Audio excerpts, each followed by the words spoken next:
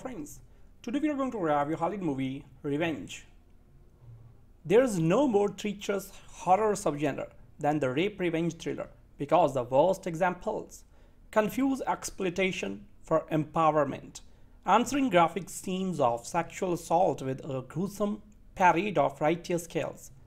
The small miracle of revenge, an exceptionally potent and sure-handed first feature by French writer director Coralie Fargeat is that it adheres to the formula, yet feels invigorating and new, a stylistic tour de force that also tweaks the politics in meaningful ways. Fargeat brings a rare woman's perspective to the table, for one, but she also flat out delivers the goods, operating at the high end of extreme French horror films like High Tension. Matriarchs and, especially, inside. The streaming service Shudder picked up Revenge prior to its world premiere at TIFF, and attention from Jenner fans is assured. When Jen arrives by chopper at her millionaire boy Toy's secluded desert villa, she deliberately casts herself as a grown-up Lolita with pink plastic star earrings and a sucker bobbing provocatively from her mouth. She knows that Richard is cheating on his wife, but their unsavory partnership offers the base pleasures of cocaine, luxury accommodations, and two beautiful bodies in motion. Their debauched, debauched weekend takes a turn, however, when two of Richard's hunting buddies drop by the house unannounced and spend the evening drinking and dancing on the terrace. The next morning, one of the men makes a pass at Jen, assuming that her behavior the night before amounted to a sexual invitation.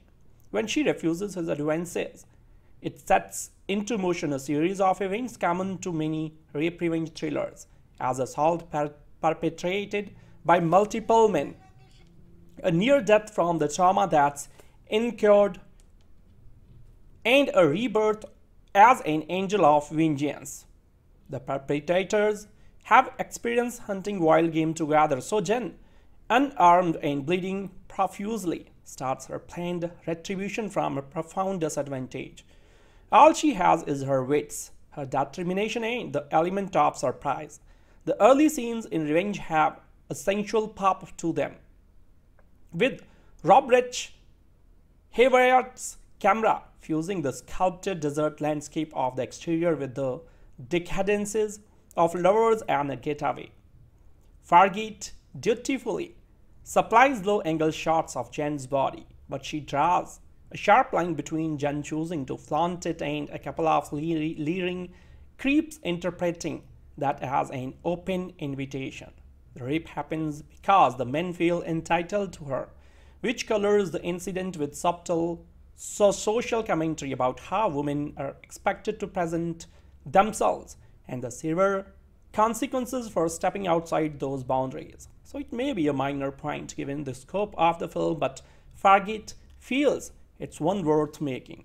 After Jen is left for death, dead, her reemergence could fairly be written off as absurd, but its sheer unlikelihood gives her an almost supernatural quality, like she is animated by the souls of wronged women past. When she uncorks her fury on her adversaries, Fargeat turns revenge into a tense, riveting cat and mouse game that embraces the slick tracking shots and can you top this nastiness that's come to define the French horror brand. The situation couldn't be more base. She wants vengeance. They want to kill her, but that only liberates Fargeat and her actors. Lutz in particular to play up their roles with tenacity and grit. Against the sterile white walls and carpeting of Richard's vacation home, a drop of blood would stand out, but Fargeat opts for gallons of it instead, converting the marble hallways into slip and slide. Lutz appeared recently as the lead in the Misbegotten Rings, replacing Naomi Watts, but Revenge demands more from her emotionally and given, gives her a physical presence that's indomitable, so like a blade forged in fire. Fargeat has staged the closest thing to a feminist rape revenge tale since Abel Ferrara's MS-45, but she is not given to the same street-level grit and psychosis. Revenge is pure violent fantasy, a nasty entertainment framed to rouse the self-reflected few with the stomachs to handle it. Its editorial agenda is less apparent, but there are therefore the taking. Blunt, stylish, almost in spite of itself, Revenge is a synthesis of exploitation and feminism, which might strike you as antithetical ideas. The basic plot, a woman collecting payback from the men who have assaulted her, is not exactly new and it's a conceit that can be used as an alibi. The way a movie like this often goes is that the audience is invited to revel in the spectacle of violence and also in the violent punishment that follows. Misogyny is indulged so it can be condemned and vice versa. Coralie Fargeat, making an impressive, uncompromising feature directing debut, sets out to avoid that trap or at least to build a better one. Revenge begins at a high pitch of travel, commodity fetishism. A helicopter alights near a luxurious, modernist villa in the desert, disgorging a guy with accessories that identify him as one of life's winners. A chunky watch, a gym-carved physique, and a young girlfriend who suggestively tongues a lollipop as she peeps through candy-colored sunglasses. Her name is Jen. Her companion Richard is married to someone else. He speaks French. She might be American. In any case, the camera observes her according to time-honored cinematic conventions from behind at a low angle as she walks around in her underwear or a bathing suit. When Richard's hunting buddies, Stan and Dimitri, show up, they regard her in the same way, but everyone seems to be having a good time. The male gaze never hurt anyone right. So there is a big TV, a good sound system and infinity pool, some guns too, but those are for later. Things turn ugly pretty fast. The men reveal their true predatory colors. First, Stan, who rapes Jen, then Dimitri, who ignores the assault, and finally Richard, who proves to be the worst bro in the bunch. There follows a long working out of the film's title as Jen transforms herself from victim to warrior and Mr. Miss Fargeat turns her skills to suspense and gore.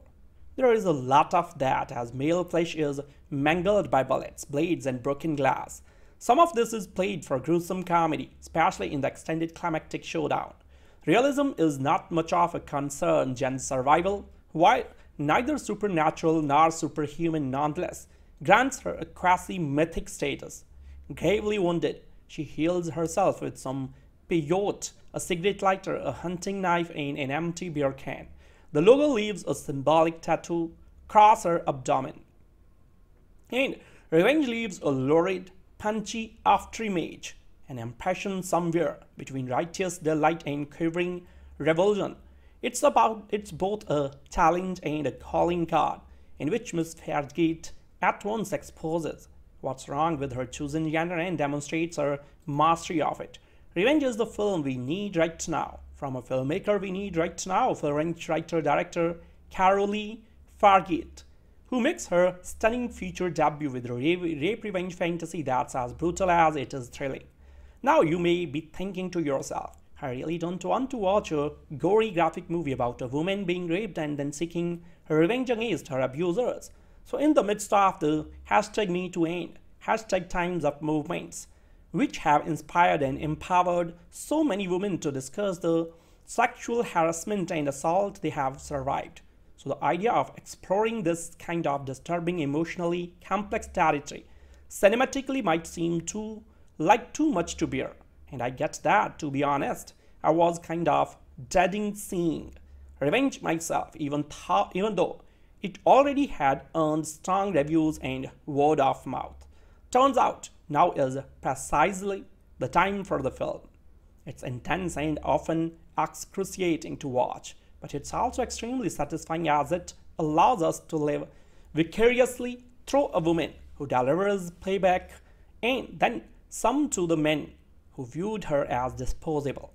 Fargeat displays a masterful balance of tone and pacing as well as a super stylish visual flair and a heightened ear for sound design.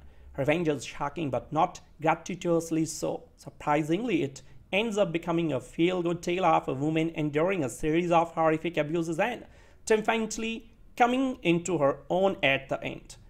But one of the most impressive feats of all is the way Fargeat subverts and co-opts the male gaze, turning it into something that's both playful and fierce.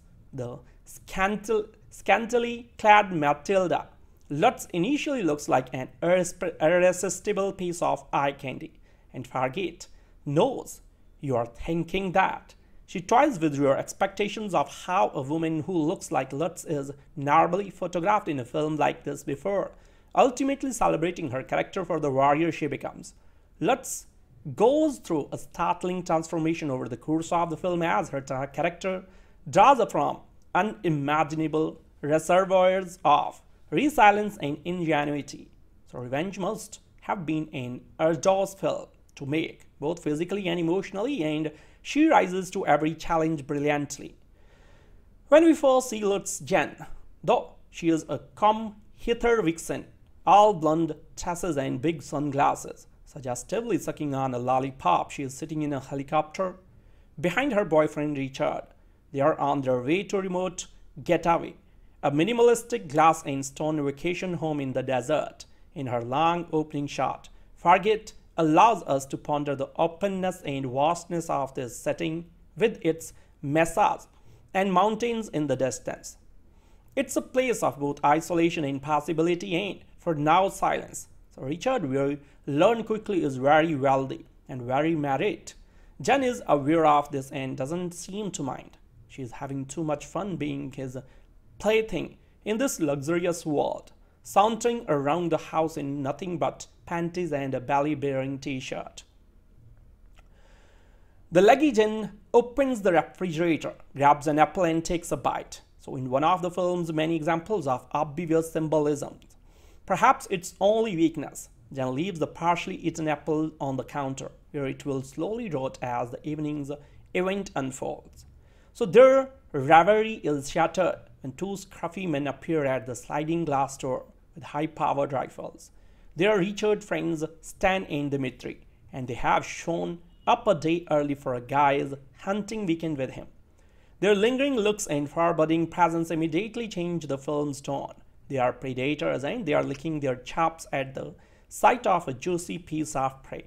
But Jen tries to keep it light as the night wears on, drinking with the men poolside and teasing them with suggestive dances. She talks dreamily of moving to Los Angeles, but she can't quite articulate why. She wants to be noticed just to be noticed, she says. She is a sweet young woman, and she's probably been a pleasure her whole life. Her routine by the pool is her default setting, her usual means of attracting male attention and approval. The next morning, though, things turn awkward when Jen awakens and finds that Richard is out running an errand, leaving her alone with these two men she barely knows.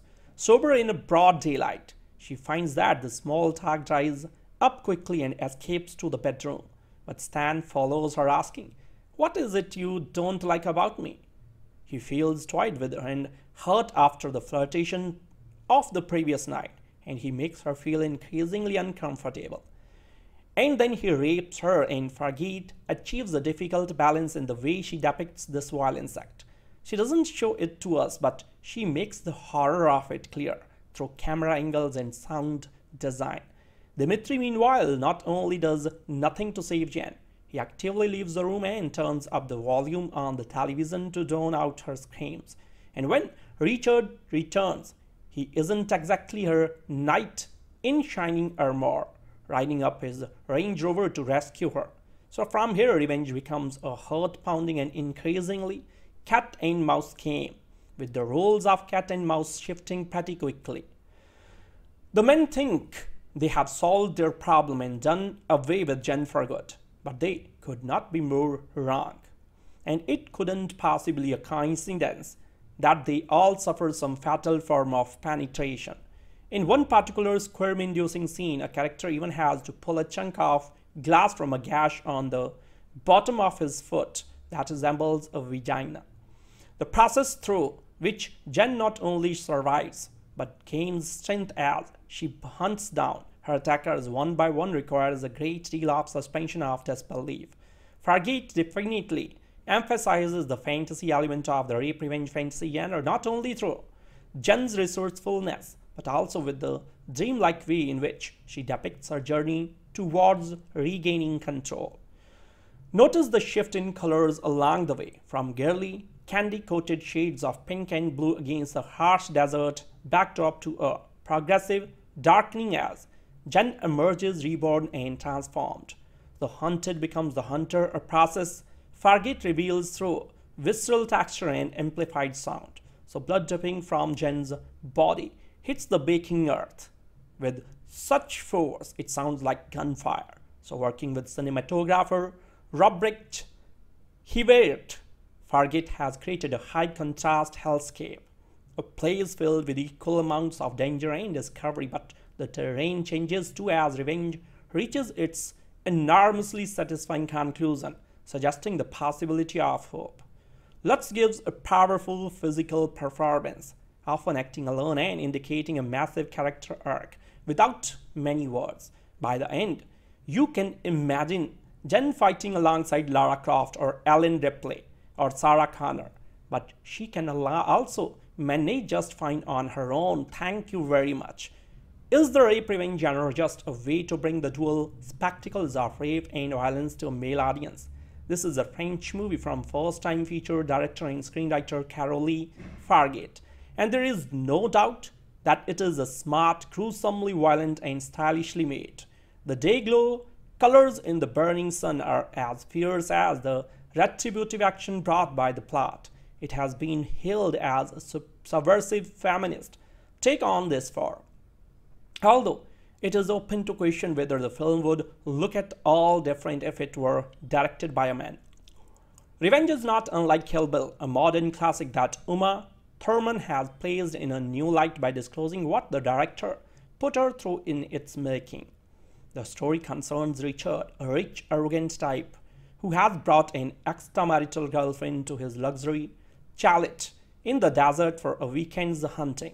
So this is super sexy Jen who knows he is married, doesn't care and enjoys being lusted over, but then arrive his two ugly incel buddies, Stan and Dimitri, who slaver over genuine envy, Richard's alpha male prerogative. So when he is out one morning, things take a brutal course, and then Jen, with superhuman or supernatural strength, sets out to exact a revenge on all of them. So these three infernos of violence are stomach-turningly shocking, though without the tension of something recognizably rooted in real life, well-made film, which slithers confidently in its slick off plot. So Revenge is one of those movies where the title says it all, taking its cue from from grimy exploitation classic like I Spit on Your Grave and The Last Hour, House on the Left. Revenge gets going pretty much straight away as young Jen arrives at a secluded house in the middle of the desert with apparently very wealthy Richard. It turns out Richard is married and has a family, but has managed to get away for a couple of days on what appears to be a regular hunting trip with his two business associates Stan and Dimitri, bringing his mistress along a day early for some extra playtime. However, Stan and Dimitri show up earlier than expected, inadvertently meeting Jen when Richard was hoping she had been gone. When Richard pops out Stan, forces himself into Jen, raping her, while Dimitri sits in her the next room, aware of what is going on but choosing to ignore it. But when Richard returns, he is far from the knight in shining armor, and with Jen wanting to leave, Richard makes a choice leaving her for dead while the three men go hunting. But when they go to pick up her body, it is no longer where they left it. Plot-wise, plot-wise it must be noted, revenge doesn't do anything you haven't seen before in dozens of revenge movies, but what it does do is bring an artistic style and flair to a genre that is often limited by cheap productions or filmmakers looking to cash in and knock a film out quickly. Visually, the film is stunning, the vast expanses of the desert evoking exploitation. Classics such as Fair Game and more modern fear like Wolf Creek are Alexandre Aja's The Hills Have Eyes. The environment often being as cruel and unforgiving as the human antagonists, but first-time director Coralie Fargeat's use of sound is just as vital to the flow and impact of the movie as the visuals, the splats of blood and booms of gunfire, often coming out of dead silence for maximum impact, and coupled with the techno-rock soundtrack that permeates much of the action revenge in an assault on all the scenes in a very gratifying way. But amongst all the gruesome content and arty packaging, there is a lot that, whilst simple and hardly original, does require a certain amount of acceptance or suspension of disbelief, such as you have to believe that Jen could survive in the extreme heat of the desert after being pushed from a cliff end impaled by a tree stump that she manages to escape from in rather far-fetched way. This leads to a scene in a cave where Jen eats some hallucinogenic substances and manages to treat her injuries in a way that makes no logical sense but since when did exploitation movies have to make total sense in order to be enjoyed? There is also a lot of symbolism here, such as repeated shots of a rotting apple. That doesn't don't really mean anything, as there is a very little in the way of gender politics and passages of time to equate a metaphor to. Overall, Revenge is a fairly standard rape revenge movie wrapped up in art house clothing that should please fans of both stylish art house cinema and low rent grindhouse exploitation. The acting is pretty good throughout. The violence is brutal and the gore totally gratuitous what? well staged, leading to a finale that shamelessly borrows from American Psycho, but you will be too invested in watching Jen get her ahem. Revenge to worry about such trivial matters. On this basis, however, despite some small niggles, it looks like Carol Lee, Fargeat could be a name to watch as revenge for a debut feature. Hits the ground running with real style and barely lets up until the satisfying end.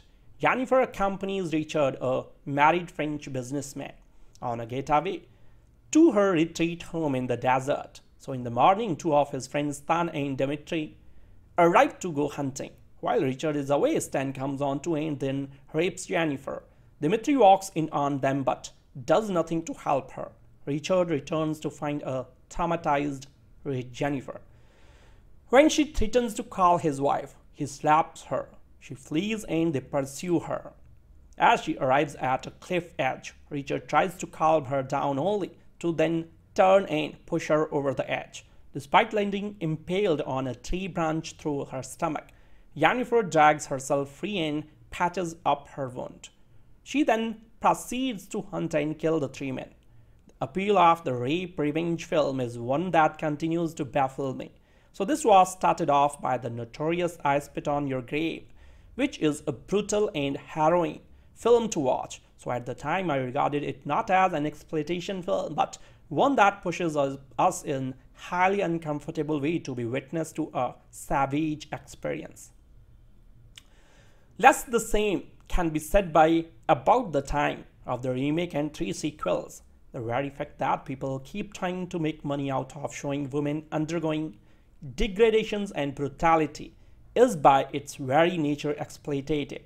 And I really don't know what it says about the fact there is a sizable enough audience out there that these earn sufficient money that they keep making more of them. All of which makes revenge more interesting in the first rape revenge film directed by a woman, in this case French newcomer Coralie Fargeat. Surely a woman in the directorial seat of a rape revenge film would be, by its very nature, redress the accusations of exploitation. Although she was not the first to do, the earlier Evangeline has been directed by Karen Lamb. Certainly, as revenge starts in, one is impressed by Coralie. Fargeat, I as a director Fargeat took a film crew to Morocco to shoot. The film is mostly shot in the English language alternatingly with some French, but even then dialogue has been stripped to a minimum. So much of the action takes place as a luxurious house in the desert. The minimalistic dialogue exchanges are punctuated by an eye for scenography. Casual details like the half-eaten apple rotting in the background and the automated pool cleaner scoring the bottom oblivious to human presence. The interesting effects created by colored panels on the plate glass window welcoming. Welcomely, the rape itself is barely dwelt on, merely a good deal of uncomfortable tension between Matilda Lutz and Vincent Colombe, and then seeing her hand slam against the bedroom window in the foreground. Clearly, this is Coralie Fargeat wishing to place the emphasis on the revenge part of the title. However, this is about the point that the film collapses from the promising into a steaming heap of absurdity. Fargeat has clearly intended Jennifer to become something akin to a comic bookish Avenger. And if she was, she were conducting a remake of the chosen one legend of the Raven, her making, say, a female version of Jonah Hex, and something that was an outright comic book film, I would probably have linked Revenge a whole lot more. The absurdities begin the moment that Matilda Lutz is shoved over a cliff by boyfriend Kevin Janssens and then survives. Moreover, she survives with the branch of a steel impaled through her back and protruding some six or more inches out of her stomach. Even assuming no fatal injuries and no actual organs were pierced or a lack of internal bleeding, that would have almost certainly resulted so this is about the point that the revenge average person would die very shortly after the fall due to the fact that they would have bled out from such a large wound. Instead, while still impaled on the tree branch, Matilda manages to hook a cigarette lighter and set the branch on fire. So this serves to burn through the tree sufficiently to cause it to collapse and allow her to get free miraculously. Enough. The burning of the tree where she lies impaled directly above the fire fields to leave her with second degree burns. So you are laughing at revenge by about the point that Matilda Lutz heads off seeking revenge. Somehow, not having suffered blood loss due to having a large open wound or any further damage to internal organs by her contortions to get the lighter. She walks off with the branch still protruding from her stomach. She is still well enough at this point to hide in the lake and then emerge and attack and defeat a man who is considerably larger than she is. So rather than passing out from blood loss or more likely dying as any normal person would by this point, Matilda takes then makes it to the to a cave.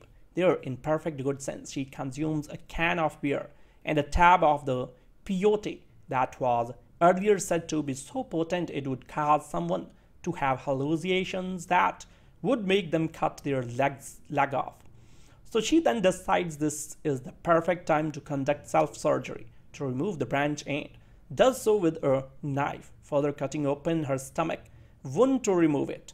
So on to about the fourth or fifth miracle by now. Somehow she does not bleed out, pass out or even appropriately experience any pain during all of this. And then comes the bit that had me in hysterics. She manages to cauterize the wound, one that is several inches in diameter by using the heated up metal from the aluminum beer can. Even more laughably, she wakes in the morning with no traces of any wound on her stomach, but now a tattoo from the logo of the beer can across her stomach.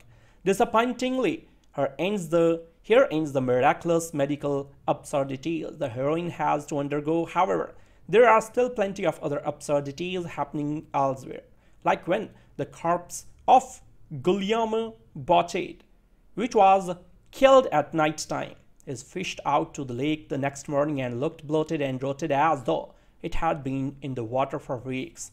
Or a scene where Vincent Colombe gets glass in his foot, manages to dig both a thumb and forefinger inside his foot to find the shard, leaving blood gushing everywhere and then moments later gets up and continues her pursuit, running on the unbandaged foot, or the climax where a nude Kevin Janssens receives a full shotgun blast to her the stomach, gets up and places saran wrap around the wound, and continues on into action without any other deleterious effects. There is no more treacherous horror subgenre than the rape revenge thriller because the worst examples confuse exploitation for empowerment, answering graphic scenes of sexual assault with a gruesome parade of righteous kills.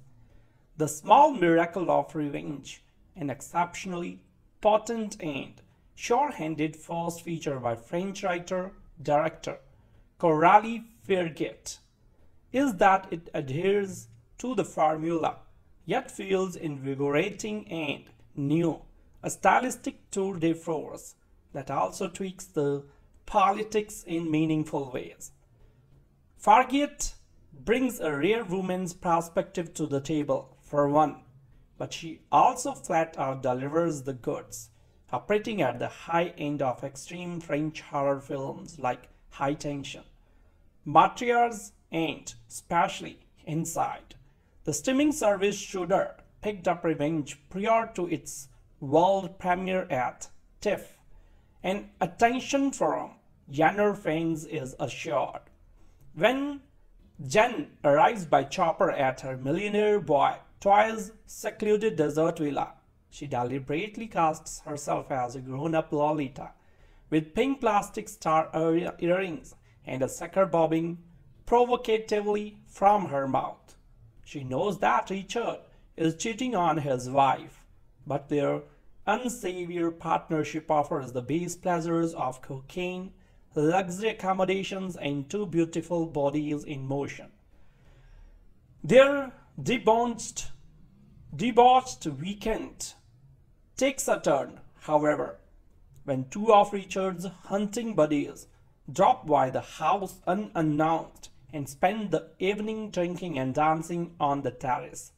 The next morning, one of the men makes a pass at Jen, assuming that her behavior the night before amounted to a sexual invitation.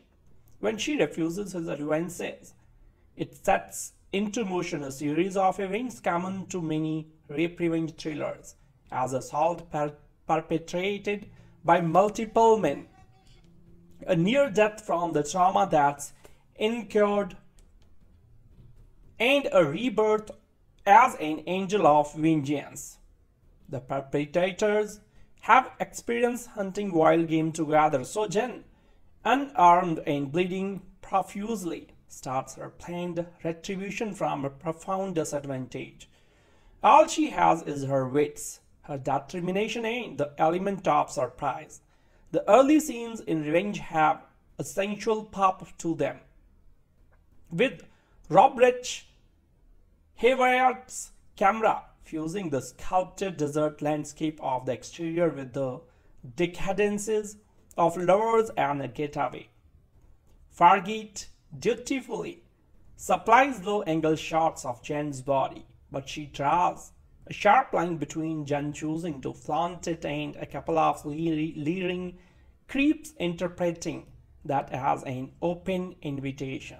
The rape happens because the men feel entitled to her, which colors the incident with subtle so social commentary about how women are expected to present themselves and the severe consequences for stepping outside those boundaries. So it may be a minor point given the scope of the film, but Fargeat feels it's one worth making.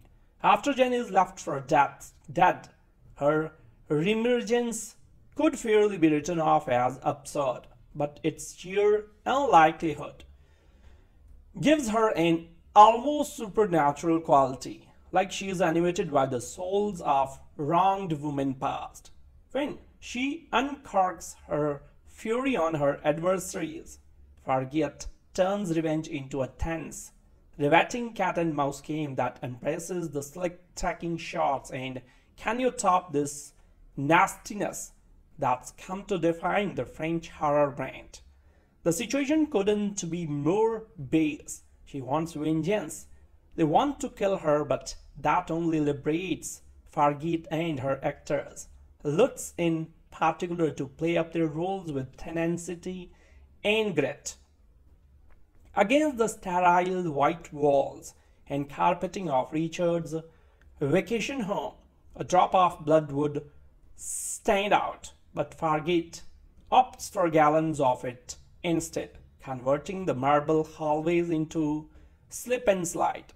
Lutz appeared recently as the lead in the Misbegotten Rings, replacing Naomi Watts, but Revenge demands more from her emotionally and given, gives her a physical presence that's indomitable, so like a blade forged in fire. Fargeat has staged the closest thing to a feminist rape revenge tale since Abel Ferrara's MS-45 but she is not given to the same street level grit and psychosis. Revenge is pure violent fantasy, a nasty entertainment primed to rouse the self-reflected few with the stomachs to handle it. Its editorial agenda is less apparent, but there are therefore the taking. Blunt, stylish, almost in spite of itself, Revenge is a synthesis of exploitation and feminism, which might strike you as antithetical ideas. The basic plot, a woman collecting payback from the men who have assaulted her, is not exactly new and it's a conceit that can be used as an alibi. The way a movie like this often goes is that the audience is invited to revel in the spectacle of violence and also in the violent punishment that follows. Misogyny is indulged so it can be condemned and vice versa. Coralie Fargeat, making an impressive, uncompromising feature directing debut, sets out to avoid that trap, or at least to build a better one. Revenge begins at a high pitch of travel, commodity fetishism. A helicopter alights near a luxurious, modernist villa in the desert disgorging a guy with accessories that identify him as one of life's winners. A chunky watch, a gym-carved physique, and a young girlfriend who suggestively tongues a lollipop as she peeps through candy-colored sunglasses. Her name is Jen. Her companion Richard is married to someone else. He speaks French. She might be American. In any case, the camera observes her according to time-honored cinematic conventions from behind at a low angle as she walks around in her underwear or a bathing suit. When Richard's hunting buddies, Stan and Dimitri, show up, they regard her in the same way, but everyone seems to be having a good time. The male gaze never hurt anyone right. So there is a big TV, a good sound system and infinity pool, some guns too, but those are for later. Things turned ugly pretty fast. The men reveal their true predatory colors. First, Stan, rapes Jen, then Dimitri, who ignores the assault, and finally Richard, who proves to be the worst bro in the bunch. There follows a long working out of the film's title as Jen transforms herself from victim to warrior and Mr. Miss Fargeat turns her skills to suspense and gore. There is a lot of that as male flesh is mangled by bullets, blades, and broken glass. Some of this is played for gruesome comedy, especially in the extended climactic showdown. Realism is not much of a concern Jen's survival, while neither supernatural nor superhuman nonetheless grants her a quasi-mythic status. Gravely wounded, she heals herself with some peyote a cigarette lighter, a hunting knife, and an empty beer can. The logo leaves a symbolic tattoo across her abdomen. And revenge leaves a lurid, punchy afterimage, an impression somewhere between righteous delight and quivering revulsion. It's about it's both a challenge and a calling card, in which Miss Fargeat at once exposes what's wrong with her chosen genre and demonstrates her mastery of it. Revenge is the film we need right now. From a filmmaker we need right now, French writer, director, Coralie Fargeat, who makes her stunning feature debut with a rape revenge fantasy that's as brutal as it is thrilling. Now you may be thinking to yourself, I really don't want to watch a gory graphic movie about a woman being raped and then seeking revenge against her abusers. So in the midst of the hashtag me to end, hashtag times of movements, which have inspired and empowered so many women to discuss the sexual harassment and assault they have survived. So the idea of exploring this kind of disturbing emotionally complex territory cinematically might seem too like too much to bear. And I get that, to be honest. I was kind of dreading seeing Revenge myself, even, even though it already had earned strong reviews and word of mouth. Turns out now is precisely the time for the film. It's intense and often excruciating to watch, but it's also extremely satisfying as it allows us to live vicariously through a woman who delivers payback and then some to the men who viewed her as disposable. Fargeat displays a masterful balance of tone and pacing as well as a super stylish visual flair and a heightened ear for sound design.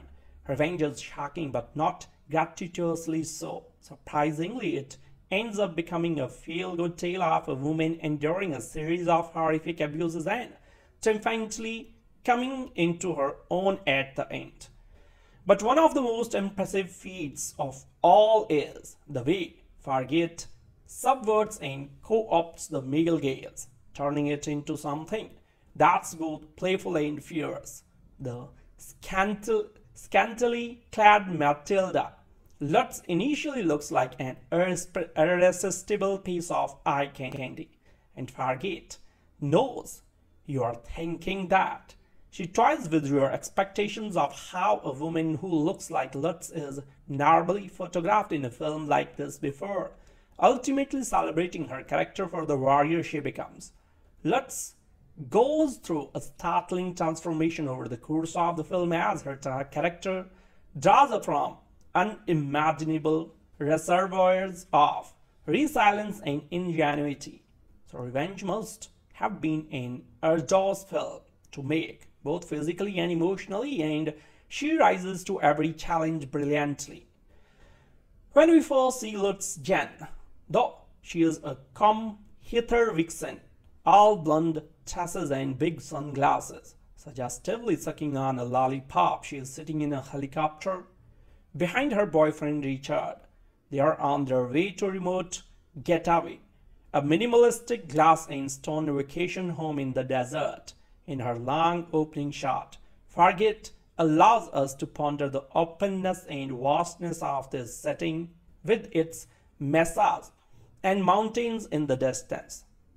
It's a place of both isolation and possibility and, for now, silence. So Richard will learn quickly is very wealthy and very married. Jen is aware of this and doesn't seem to mind. She is having too much fun being his plaything in this luxurious world, sauntering around the house in nothing but panties and a belly-bearing t-shirt. The Leggy Jen opens the refrigerator, grabs an apple and takes a bite. So in one of the film's many examples of obvious symbolism, perhaps its only weakness, Jen leaves the partially eaten apple on the counter, where it will slowly rot as the evening's event unfolds. So their reverie is shattered when two scruffy men appear at the sliding glass door with high-powered rifles. Their Richard friends Stan and Dimitri, and they have shown up a day early for a guy's hunting weekend with him. Their lingering looks and foreboding presence immediately change the film's tone. They are predators and they are licking their chops at the sight of a juicy piece of prey. But Jen tries to keep it light as the night wears on, drinking with the men poolside and teasing them with suggestive dances. She talks dreamily of moving to Los Angeles, but she can't quite articulate why. She wants to be noticed just to be noticed, she says. She is a sweet young woman, and she's probably been a pleasure her whole life.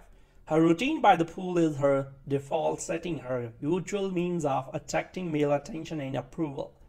The next morning, though, things turn awkward when Jen awakens and finds that Richard is out running in a rant, leaving her alone with these two men she barely knows. Sober in a broad daylight, she finds that the small talk dries up quickly and escapes to the bedroom. But Stan follows her asking, What is it you don't like about me? He feels toyed with her and hurt after the flirtation of the previous night, and he makes her feel increasingly uncomfortable. And then he rapes her and Fargeat achieves a difficult balance in the way she depicts this violence act.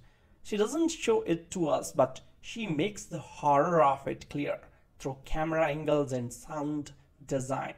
Dimitri, meanwhile, not only does nothing to save Jen, he actively leaves the room and turns up the volume on the television to drown out her screams. And when Richard returns, he isn't exactly her knight in shining armor, riding up his Range Rover to rescue her.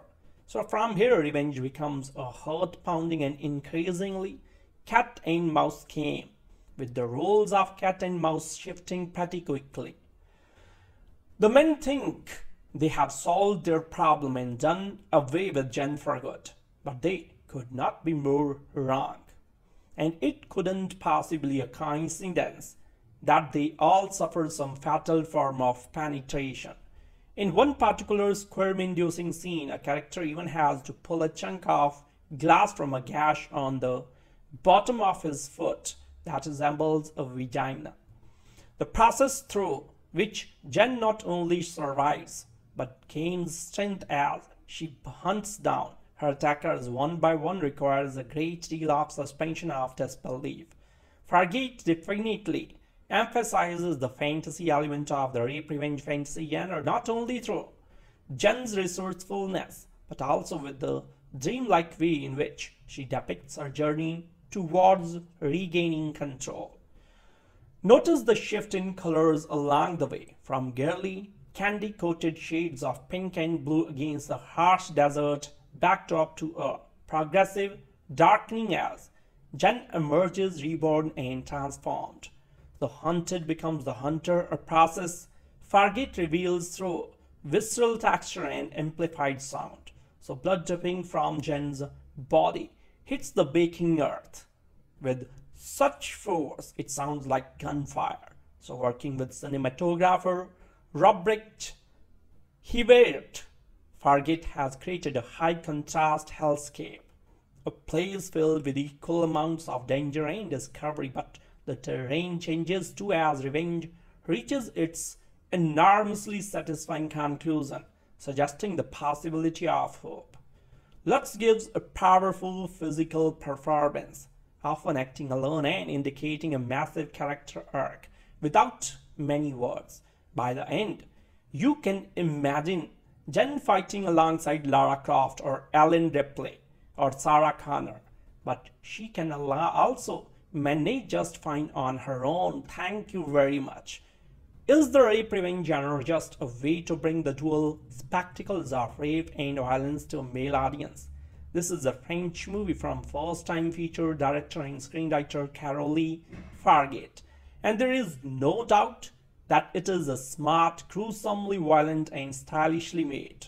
The day glow colors in the burning sun are as fierce as the retributive action brought by the plot. It has been hailed as a subversive feminist take on this form. Although it is open to question whether the film would look at all different if it were directed by a man. Revenge is not unlike Kill Bill, a modern classic that Uma Thurman has placed in a new light by disclosing what the director put her through in its making. The story concerns Richard, a rich, arrogant type who has brought an extramarital girlfriend to his luxury chalet in the desert for a weekend's hunting. So this is super sexy Jen, who knows he is married, doesn't care and enjoys being lusted over, but then arrive his two ugly incel buddies. Stan and Dimitri, who slaver over Jen and envy, Richard's alpha male prerogative. So when he is out one morning, things take a brutal course, and then Jen, with superhuman or supernatural strength, sets out to exact a revenge on all of them. So these three infernos of violence are stomach-turningly shocking, though without the tension of something recognizably rooted in real life, well-made film, which slithers confidently in its slick of blood. So Revenge is one of those movies where the title says it all, taking its cue from from grimy exploitation classic like I Spit on Your Grave and The Last Hour, House on the Left. Revenge gets going pretty much straight away as young Jen arrives at a secluded house in the middle of the desert with apparently very wealthy Richard. It turns out Richard is married and has a family but has managed to get away for a couple of days on what appears to be a regular hunting trip with his two business associates Stan and Dimitri, bringing his mistress along a day early for some extra playtime. However, Stan and Dimitri show up earlier than expected, inadvertently meeting Jen when Richard was hoping she had been gone. When Richard pops out Stan forces himself into Jen, raping her, while Dimitri sits in her the next room, aware of what is going on but choosing to ignore it. But when Richard returns, he is far from the knight in shining armor, and with Jen wanting to leave, Richard makes a choice, leaving her for dead while the three men go hunting. But when they go to pick up her body, it is no longer where they left it. Plot-wise, plot-wise, it must be noted, revenge doesn't do anything you haven't seen before in dozens of revenge movies, but what it does do is bring an artistic style and flair to a genre that is often limited by cheap productions or filmmakers looking to cash in and knock a film out quickly. Visually, the film is stunning, the vast expanses of the desert evoking exploitation, Classics such as Fair Game and more modern fear like Wolf Creek are Alexandre Aja's The Hills Have Eyes. The environment often being as cruel and unforgiving as the human antagonists, but first-time director Coralie Fargeat's use of sound is just as vital to the flow and impact of the movie as the visuals, the splats of blood, and booms of gunfire, often coming out of dead silence for maximum impact, and coupled with the techno-rock soundtrack that permeates much of the action revenge in an assault on all the scenes in a very gratifying way. But amongst all the gruesome content and arty packaging, there is a lot that, whilst simple and hardly original, does require a certain amount of acceptance or suspension of disbelief, such as you have to believe that Jen could survive in the extreme heat of the desert after being pushed from a cliff end impaled by a tree stump that she manages to escape from in rather far-fetched way. This leads to a scene in a cave where Jen eats some hallucinogenic substances and manages to treat her injuries in a way that makes no logical sense but since when did exploitation movies have to make total sense in order to be enjoyed? There is also a lot of symbolism here, such as repeated shots of a rotting apple. That doesn't don't really mean anything, as there is very little in the way of gender politics and passages of time to equate a metaphor to Overall, Revenge is a fairly standard rape revenge movie wrapped up in art house clothing that should please fans of both stylish art house cinema and low rent grindhouse exploitation. The acting is pretty good throughout. The violence is brutal and the gore totally gratuitous but well staged. leading to a finale that shamelessly borrows from American Psycho, but you will be too invested in watching Jen get her ahem.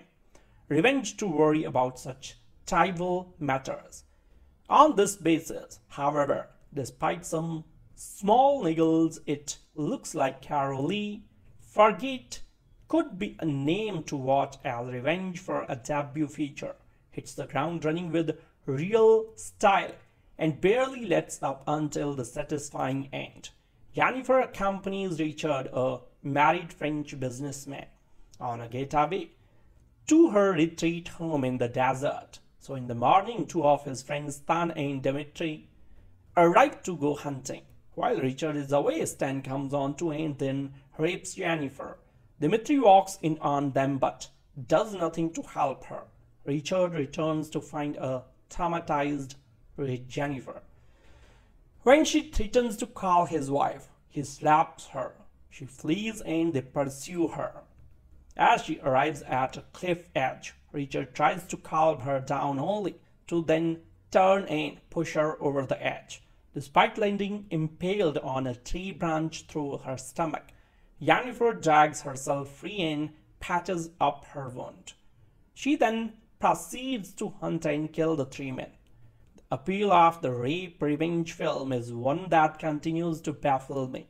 So this was started off by the notorious I Spit on Your Grave, which is a brutal and harrowing film to watch. So at the time I regarded it not as an exploitation film, but one that pushes us, us in highly uncomfortable way to be witness to a savage experience. Less the same can be said by about the time of the remake and three sequels.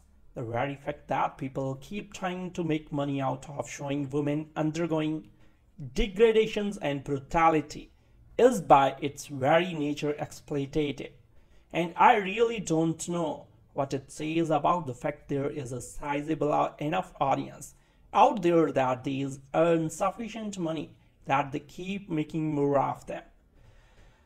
All of which makes revenge more interesting in the first rape revenge film directed by a woman, in this case French newcomer Coralie Fargeat. Surely a woman in the director's seat of a rape revenge film would be, by its very nature, redress the accusations of exploitation. Although she was not the first to do, the earlier Evangeline has been directed by Karen Lamb. Certainly, as revenge starts in, one is impressed by Coralie. Fargeat. I, as a director, Fargeat took a film crew to Morocco to shoot. The film is mostly shot in the English language, alternatingly with some French, but even then dialogue has been stripped to a minimum. So much of the action takes place as a luxurious house in the desert. The minimalistic dialogue exchanges are punctuated by an eye for scenography. Casual details like the half-eaten apple rotting in the background and the automated pool cleaner scoring the bottom oblivious to human presence. The interesting effects created by colored panels on the plate glass window. Welcomely, welcomely, the rape itself is barely dwelt on. Merely a good deal of uncomfortable tension between Matilda Lutz and Vincent Colombe, and then seeing her hand slam against the bedroom window in the foreground. Clearly, this is Coralie Fargeat wishing to place the emphasis on the revenge part of the title. However, this is about the point that the film collapses from the promising into a steaming heap of absurdity. Fargeat has clearly intended Jennifer to become something akin to a comic bookish Avenger. And if she was, she were conducting a remake of the chosen one legend of the Raven, her making, say, a female version of Jonah Hex, and something that was an outright comic book film, I would probably have linked revenge a whole lot more. The absurdities begin the moment that Matilda Lutz is shoved over a cliff by boyfriend Kevin Janssens and then survives. Moreover, she survives with the branch of a steel impaled. throw her back and protruding some six or more inches out of her stomach. Even assuming no fatal injuries and no actual organs were pierced or a lack of internal bleeding, that would have almost certainly resulted. So this is about the point that the average person would die very shortly after the fall due to the fact that they would have bled out from such a large wound. Instead, while still impaled on the tree branch, Matilda manages to hook a cigarette lighter and set the branch on fire. So this serves to burn through the tree sufficiently to cause it to collapse and allow her to get free miraculously. Enough. The burning of the tree where she lies impaled directly above the fire fails to leave her with second degree burns. So you are laughing at revenge by about the point that Matilda lets heads off seeking revenge. Somehow, not having suffered blood loss due to having large open wound or any further damage to internal organs by her contortions to get the lighter. She walks off with the branch still protruding from her stomach. She is still well enough at this point to hide in the lake and then emerge and attack and defeat a man who is considerably larger than she is. So rather than passing out from blood loss or more likely dying as any normal person would by this point, Matilda takes then makes it to the to a cave. There, in perfect good sense, she consumes a can of beer and a tab of the peyote that was earlier said to be so potent it would cause someone to have hallucinations that would make them cut their legs leg off. So she then decides this is the perfect time to conduct self-surgery to remove the branch and does so with a knife, further cutting open her stomach wound to remove it. So on to about the fourth or fifth miracle by now. Somehow she does not bleed out, pass out or even appropriately experience any pain during all of this. And then comes the bit that had me in hysterics. She manages to cauterize the wound, one that is several inches in diameter by using the heated up metal from the aluminum beer can. Even more laughably, she wakes in the morning with no traces of any wound on her stomach, but now a tattoo from the logo of the beer can across her stomach. Disappointingly, her ends the here ends the miraculous medical absurdity the heroine has to undergo. However, there are still plenty of other absurdities happening elsewhere, like when the corpse of Guillaume Bouchède, which was killed at night time, is fished out to the lake the next morning and looked bloated and rotted as though it had been in the water for weeks. Or a scene where Vincent Colombe gets glass in his foot, manages to dig both a thumb and forefinger inside his foot to find the shard living blood gushing everywhere and then moments later gets up and continues her pursuit, running on the unbandaged foot. Or the climax where a nude Kevin Janice, Janssens receives a full shotgun blast to her stomach, gets up and places saran wrap around the wound and continues on into action without any other deleterious effects. There is no more treacherous horror subgenre than the rape revenge thriller because the worst examples confuse exploitation for empowerment, answering graphic scenes of sexual assault with a gruesome parade of righteous kills. The small miracle of revenge, an exceptionally potent and sure-handed first feature by French writer, director Coralie Fargeat, is that it adheres to the formula, yet feels invigorating and new, a stylistic tour de force that also tweaks the politics in meaningful ways. Fargeat brings a rare woman's perspective to the table, for one, but she also flat out delivers the goods, operating at the high end of extreme French horror films like High Tension. Martyrs and, especially inside.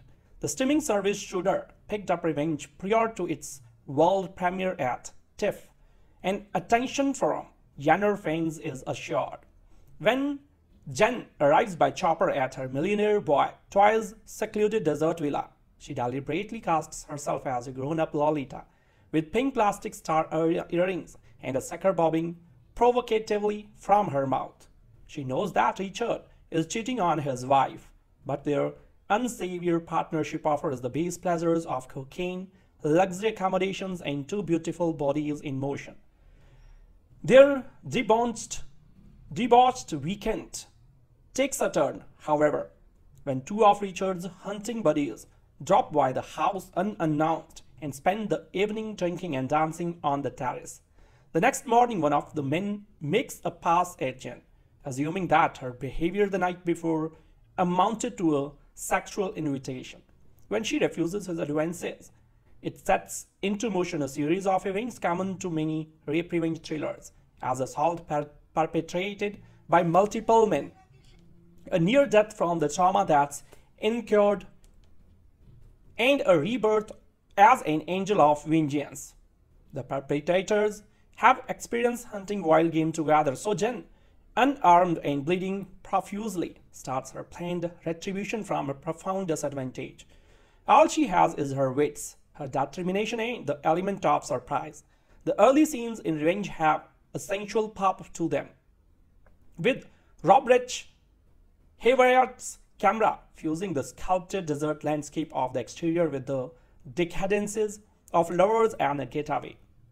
Fargeat dutifully supplies low-angle shots of Jen's body, but she draws a sharp line between Jen choosing to flaunt it and a couple of leering creeps interpreting that has an open invitation.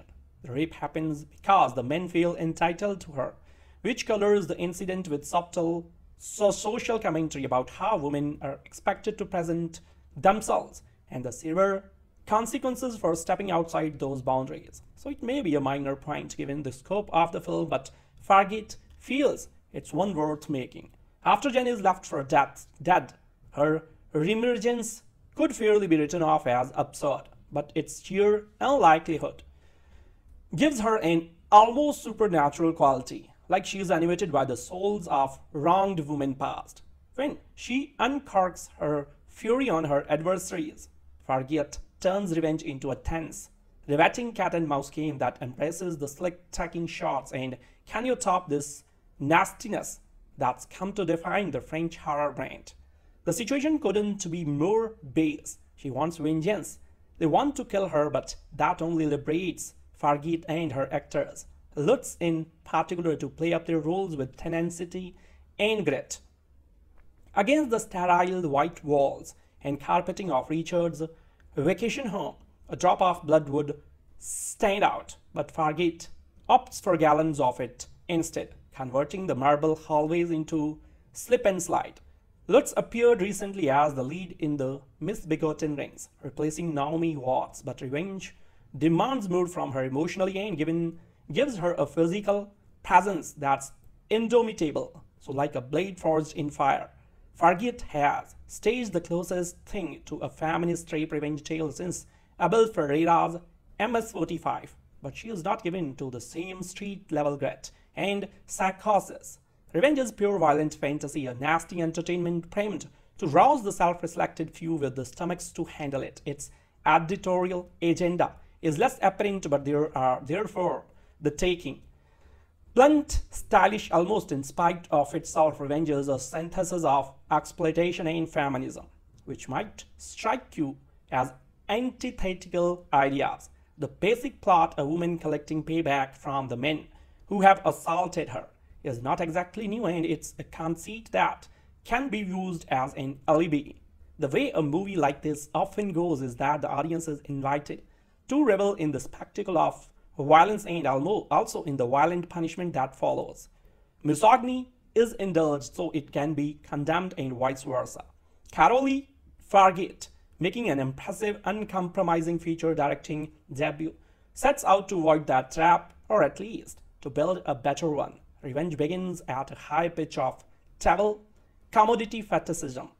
A helicopter alights near a luxurious, modernist villa in the desert disgorging a guy with accessories that identify him as one of life's winners. a chunky watch, a gym-carved physique, and a young girlfriend who suggestively tongues a lollipop as she peeps through candy-colored sunglasses. Her name is Jen. Her companion Richard is married to someone else. He speaks French. She might be American. In any case, the camera observes her according to time-honored cinematic conventions from behind at a low angle as she walks around in her underwear or a bathing suit. When Richard's hunting buddies, Stan and Dimitri, show up, they regard her in the same way, but everyone seems to be having a good time. The male gaze never hurt anyone right, so there is a big TV, a good sound system and infinity pool, some guns too, but those are for later. Things turned ugly pretty fast. The men reveal their true predatory colors. First, Stan, rapes Jen, then Dimitri, who ignores the assault, and finally Richard, who proves to be the worst bro in the bunch. There follows a long working out of the film's title as Jen transforms herself from victim to warrior and Mr. Miss Fargeat turns her skills to suspense and gore. There is a lot of that as male flesh is mangled by bullets, blades, and broken glass. Some of this is played for gruesome comedy, especially in the extended climactic showdown. Realism is not much of a concern Jen's survival, while neither supernatural nor superhuman nonetheless grants her a quasi-mythic status. Gravely wounded, she heals herself with some peyote, a cigarette lighter, a hunting knife, and an empty beer can. The logo leaves a symbolic tattoo across her abdomen. And revenge leaves a lurid, punchy afterimage an impression somewhere between righteous delight and quivering revulsion.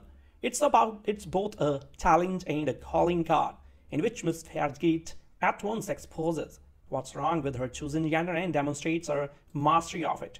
Revenge is the film we need right now. From a filmmaker we need right now, French writer-director Coralie Fargeat, who makes her stunning feature debut with a rape revenge fantasy that's as brutal as it is thrilling. Now you may be thinking to yourself, I really don't want to watch a gory graphic movie about a woman being raped and then seeking revenge against her abusers. So in the midst of the hashtag MeTooAnd, hashtag Time's Up movements, which have inspired and empowered so many women to discuss the sexual harassment and assault they have survived. So the idea of exploring this kind of disturbing emotionally complex territory cinematically might seem too like too much to bear. And I get that, to be honest. I was kind of dreading seeing Revenge myself, even, even though it already had earned strong reviews and word of mouth. Turns out now is precisely the time for the film. It's intense and often excruciating to watch, but it's also extremely satisfying as it allows us to live vicariously through a woman who delivers playback and then some to the men who viewed her as disposable. Fargeat displays a masterful balance of tone and pacing as well as a super stylish visual flair and a heightened ear for sound design. Revenge is shocking but not gratuitously so. Surprisingly, it ends up becoming a feel-good tale of a woman enduring a series of horrific abuses and triumphantly coming into her own at the end. But one of the most impressive feats of all is the way Fargeat subverts and co-opts the male gaze, turning it into something that's both playful and fierce. The scantal, scantily clad Matilda Lutz initially looks like an irresistible piece of eye candy, and Fargeat knows you are thinking that. She tries with your expectations of how a woman who looks like Lutz is normally photographed in a film like this before, ultimately celebrating her character for the warrior she becomes. Lutz goes through a startling transformation over the course of the film as her character draws from unimaginable reservoirs of resilience and ingenuity. So Revenge must have been an arduous film to make, both physically and emotionally, and she rises to every challenge brilliantly. When we first see Lutz Jen, though she is a come-hither vixen, all blonde tresses and big sunglasses, suggestively sucking on a lollipop, she is sitting in a helicopter behind her boyfriend Richard. They are on their way to remote getaway a minimalistic glass and stone vacation home in the desert. In her long opening shot, Fargeat allows us to ponder the openness and vastness of this setting with its mesas and mountains in the distance. It's a place of both isolation and possibility and, for now, silence. So Richard, we learn quickly, is very wealthy and very married. Jen is aware of this and doesn't seem to mind. She's having too much fun being his plaything in this luxurious world, sauntering around the house in nothing but panties and a belly-bearing t-shirt. The leggy Jen opens the refrigerator, grabs an apple and takes a bite. So in one of the film's many examples of obvious symbolism, perhaps its only weakness, then leaves the partially eaten apple on the counter, where it will slowly rot as the evening's event unfolds. So their reverie is shattered when two scruffy men appear at the sliding glass door with high-powered rifles. They are Richard friends Stan and Dimitri, and they have shown up a day early for a guy's hunting weekend with him. Their lingering looks and foreboding presence immediately change the film's tone. They are predators and they are licking their chops at the sight of a juicy piece of prey.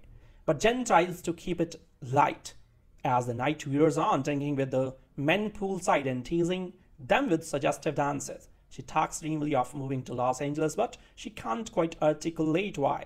She wants to be noticed just to be noticed, she says. She is a sweet young woman, and she's probably been a pleasure her whole life.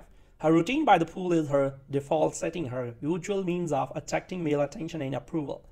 The next morning, though, things turn awkward when Jen awakens and finds that Richard is out running an errand, leaving her alone with these two men she barely knows.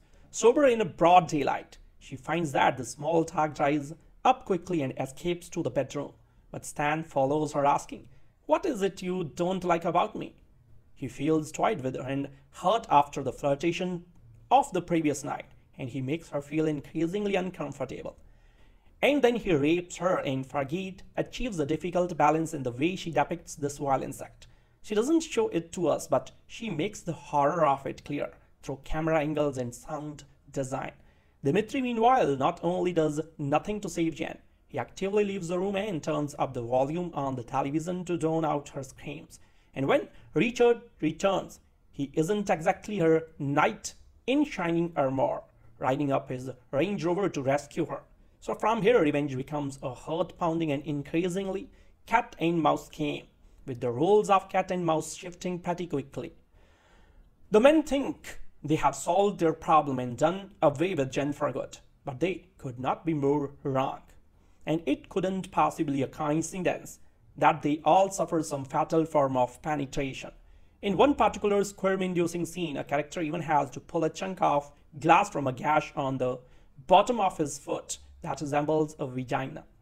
The process through which Jen not only survives, but gains strength as she hunts down her attackers one by one requires a great deal of suspension of disbelief.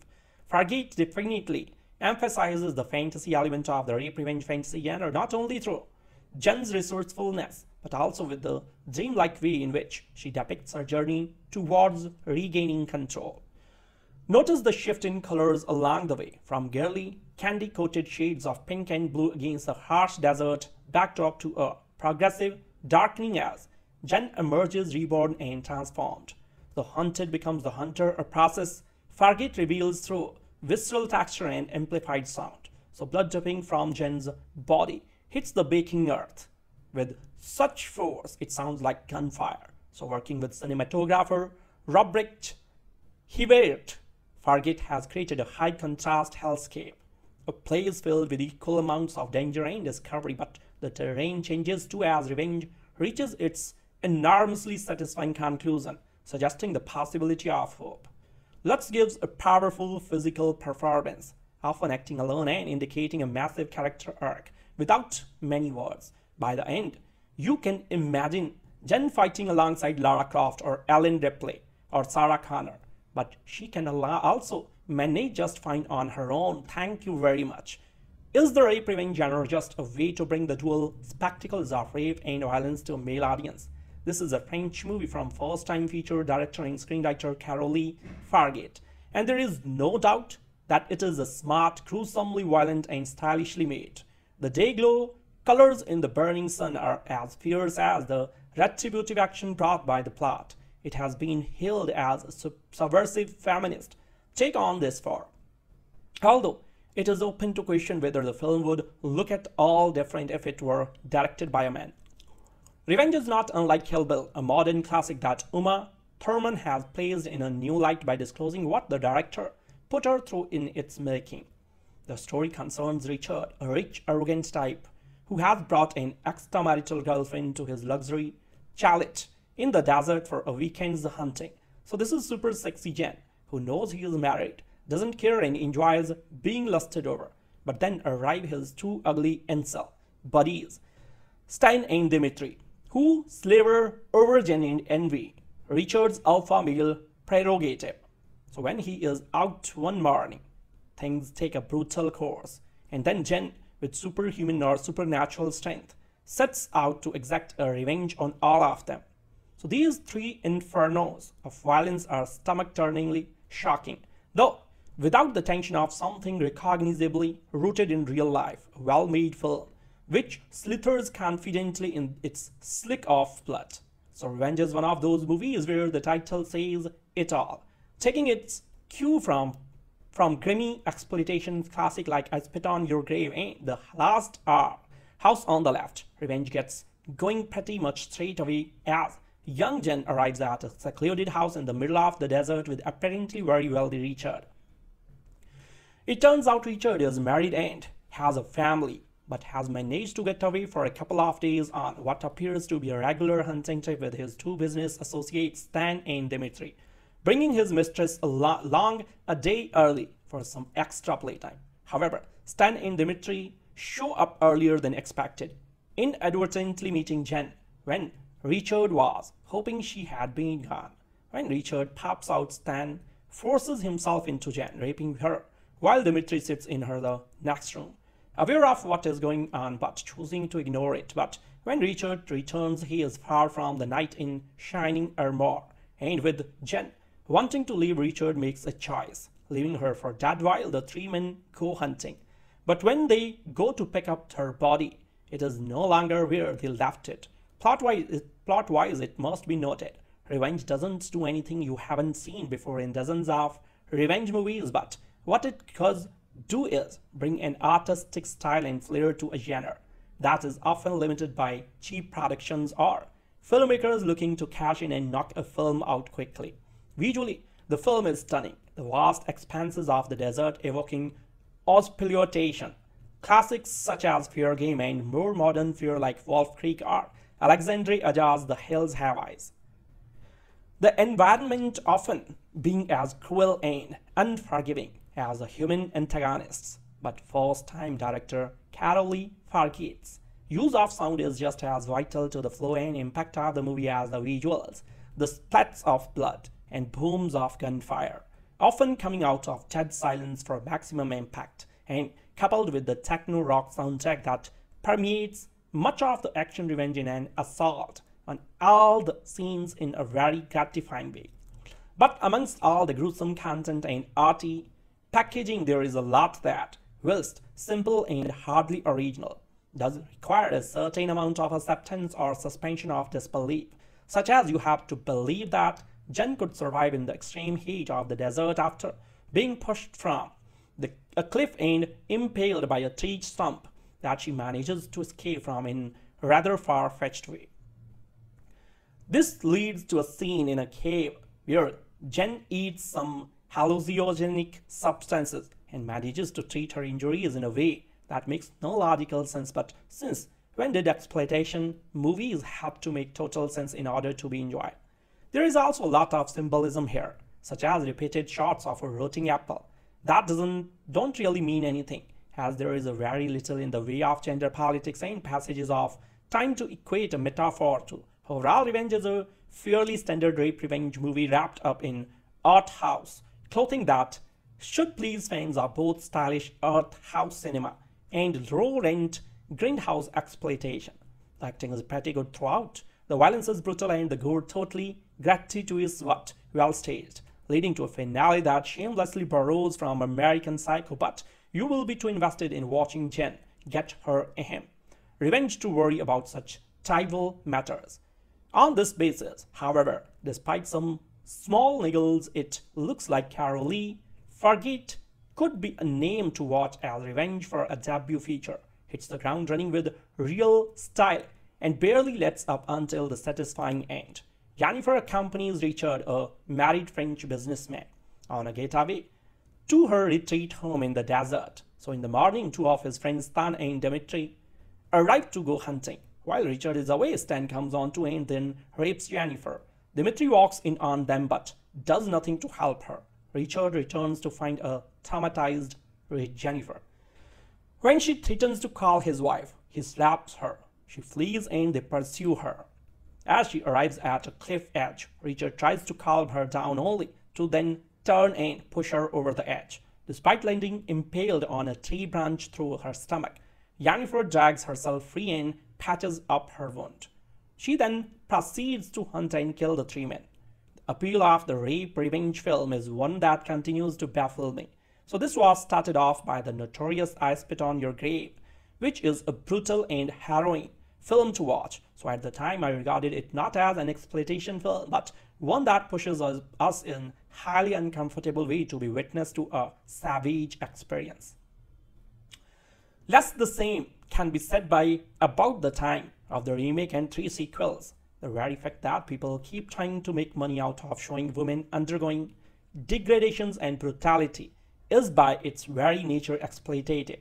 And I really don't know what it says about the fact there is a sizable enough audience out there that these earn sufficient money that they keep making more of them. All of which makes revenge more interesting in the first rape revenge film directed by a woman, in this case French newcomer Coralie Fargeat. Surely a woman in the director's seat of a rape revenge film would be, by its very nature, redress the accusations of exploitation. Although she was not the first to do, the earlier Evangeline has been directed by Karen Lam. Certainly, as revenge starts in, one is impressed by Coralie. Fargeat. I, as a director, Fargeat took a film crew to Morocco to shoot. The film is mostly shot in the English language alternatingly with some French, but even then dialogue has been stripped to a minimum. So much of the action takes place at a luxurious house in the desert. The minimalistic dialogue exchanges are punctuated by an eye for scenography. Casual details like the half-eaten apple rotting in the background and the automated pool cleaner scoring the bottom oblivious to human presence. The interesting effects created by colored panels on the plate glass window welcoming. Welcomely, the rape itself is barely dwelt on. Merely a good deal of uncomfortable tension between Matilda Lutz and Vincent Colombe, and then seeing her hand slam against the bedroom window in the foreground. Clearly, this is Coralie Fargeat wishing to place the emphasis on the revenge, part of the title. However, this is about the point that the film collapses from the promising into a steaming heap of absurdity. Fargeat has clearly intended Jennifer to become something akin to a comic bookish Avenger. And if she was, she were conducting a remake of the chosen one legend of the Raven, her making, say, a female version of Jonah Hex, and something that was an outright comic book film, I would probably have linked revenge a whole lot more.